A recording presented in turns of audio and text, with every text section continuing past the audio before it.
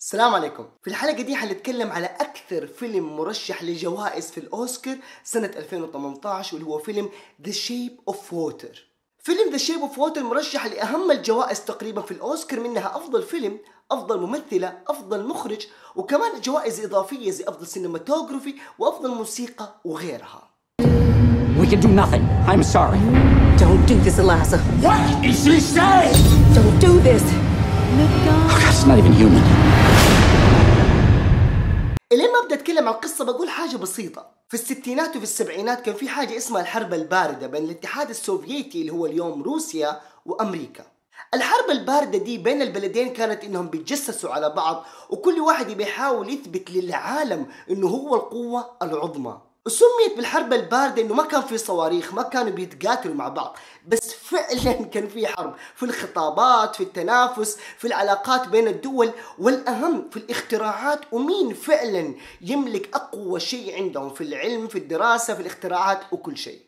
في وسط ده كله وفي الستينات كان في بنت ما تتكلم تسمع لكن ما تتكلم. البنت دي تشتغل كعاملة نظافة بأحد الجهات الحكومية في يوم من الأيام. الجهة الحكومية دي يجيها شحنة الشحنة دي عبارة عن مخلوق غريب. المخلوق ده سمكة بشكل رجل أو رجل بشكل سمكة. الجهة الحكومية هذه كانت تعمل عليه اختبارات جزء من التنافس اللي كان ساير مع روسيا.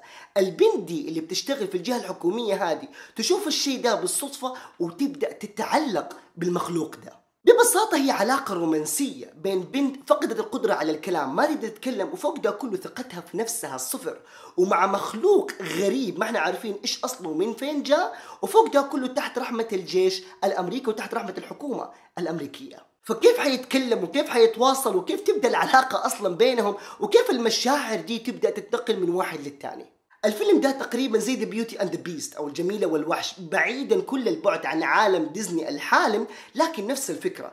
إنسانة مخلوقة طبيعية بتتعلق بإنسان متوحش أو مو إنسان حتى مخلوق متوحش. كيف الشيء ده وكيف العلاقة دي بتصير؟ بتوضح رسالة جدا جميلة إنه دائما الحب يجي في أغرب الأشياء لأنه ما يعتمد لا على الشكل ولا يعتمد على منصب ولا يعتمد على حاجة. يعتمد الإنسان يكون فاقد شيء وممكن يلاقي الشيء ده اللي فاقده في أي إنسان في أغرب الأماكن في ابعد الأشياء كمان.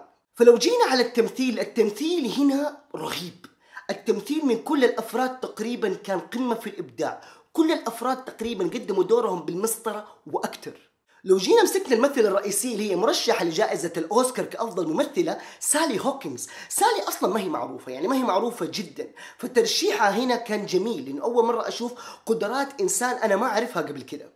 حتقدم لك شخصية الإنسان البكمة اللي ما تتكلم بطريقة راقية جدا غير مملة أبدا بتعابير جدا جميلة وصادقة حتوصل لك.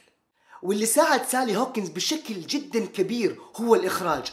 برافو برافو برافو لديلتورو على الإخراج العظيم في الفيلم هذا. الفيلم ده يعتمد اعتماد جدا كبير على ال visuals على الناحية البصرية على الموسيقى على إنه يدخلك عالم غريب نوعا ما. على الرغم إنه مو عالم خيالي العالم اللي إحنا عايشين فيه اليوم. لكن نوعا ما وإنت بتتفرج بتحس نفسك في منطقة مختلفة تماما. وكل ده لعب دور بال cinematography اللي نقاها صح بال visuals اللي عملها صح وبالموسيقى اللي كان ينقيها ويدخلها في المشاهد بطريقة جدا جميلة. وكمان اختياراته للأشياء كانت جميلة لأنه في الماضي ما طلع لك برا في الشارع كثير ما نزل ورانا العالم الخارجي.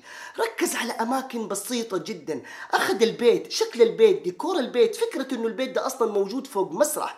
الموسيقى ومتى يدخلها بالذات مع سالي هوكنز في الأدوار وفي الدور حقها وفي المشاهد حقتها لأنها ما تتكلم. فالموسيقى نوعا ما مع تعابير الوجه هي اللي كانت توصل المشاعر اللي كانت تبي توصلها. ومن ناحية ثانية على الرغم من التمثيل كان رهيب على الرغم من الفيلم بشكل عام كان ممتع لكن العيوب اللي فيه كانت أساسية لدرجة حتى ما أقدر أعتبر أو ما أقدر حتى إني أرشح الفيلم إنه يفوز بالأوسكار. أول عيب والعيب الأساسي إنه هو قلب القصة كيف العلاقة أصلا صارت بين سالي هوكينز بين الشخصية دي وبين المخلوق؟ صارت بسرعة ما أخذوا وقتهم ما ورونا كيف المشاعر دي تبدأ بأحداث أكتر بمشاهد أكتر. لقيت كل حاجة كان مستعجل وصلت لي العلاقة وصلت لي المشاعر اللي حاسينها البعض. لكن ابدا جات بطريقة جدا سريعة ما بنوا الأحداث بطريقة تخليني أقتنع إنه ممكن إنسانة تحب مخلوق بالطريقة دي بالسرعة هذه. حاجة ثانية ممكن ما تكون رئيسية اللي هي النهاية. النهاية كانت جدا متوقعة. ما أظن أي شخص حيشوف الفيلم ده ما حيتوقع إيش هي حتكون النهاية. ومع كون النهاية متوقعة شال عامل ضروري هو عامل الانبهار. حتى المشاهد الأخيرة في الفيلم بالنسبة لي كانت أضعف المشاهد في الفيلم كله. فلو جينا لجوائز الأوسكار والفئات الرئيسية اللي مرشح فيها الفيلم ده يستاهل جائزة أفضل مخرج لأنه الإخراج هنا كان إبداع كان سبب رئيسي بالاستمتاع في الفيلم على الرغم من القصة المتوقعة. ويستاهل كمان أوسكار أفضل موسيقى لأنه هذه أجمل موسيقى شفتها في الأفلام كلها اللي عرضت أو مرشحة للأوسكار. الموسيقى لعبت دور كبير الموسيقى كانت تتكلم في الفيلم ده. ولو جينا للممثلة سالي هوكنز تستاهل الترشيح بلا منازع تستاهل إنها تترشح للأوسكار. لكن هل تفوز بالأوسكار؟ شخصيا أشوف أدوار ثانية في أفلام ثانية كانت أقوى. ولو جينا للفيلم نفسه الفيلم ممتع لكنه متوقع لأبعد درجة. التمثيل فيه حلو لكن ما قدر إنه يبهرني في الأخير. عشان كده أنا ما أشوف الفيلم يستاهل الأوسكار وياخذ معايا سبعة ونص من عشرة. كان معاكم ماهر موصلي أشوفكم إن شاء الله الحلقة الجاية.